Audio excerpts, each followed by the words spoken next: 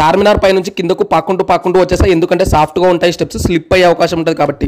చార్మినార్ కింద కూడా అసలు ఆ గ్రాండ్ లుక్ అయితే మెస్మరైజ్ చేస్తుంది అందరినీ.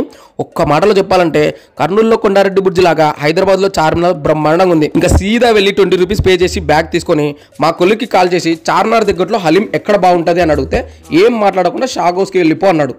నేనైతే చార్మినార్ని వదలలేక మళ్ళీ ఒక టైం ల్యాబ్స్ తీసుకొని బాడీని హైడ్రేట్ చేయడానికి ట్వంటీ రూపీస్ పెట్టి షుగర్ కేన్ జ్యూస్ తీసుకున్నా. మళ్ళీ బ్యాక్గ్రౌండ్లో చార్మినార్ పడేలా తాగేసా red colour double decker bus ఒకటి కనపడితే చూసా చార్మినార్ దగ్గర నుంచి షాగోస్ రెస్టారెంట్కి వన్ కిలోమీటర్ ఉంది. టెన్ రూపీస్ ఇచ్చి ఒక ఆటో ఎక్కా. మొత్తానికి అయితే హలీం తినడానికి కర్నూలు నుంచి హైదరాబాద్ చార్మినార్ దగ్గరలో ఉన్న షాగోస్ రెస్టారెంట్కి వచ్చేసా మీరు చార్మినార్ దగ్గరలో ఎక్కడ ఏ ఫుడ్ తిన్నారో కామెంట్ సెక్షన్లో చెప్పండి.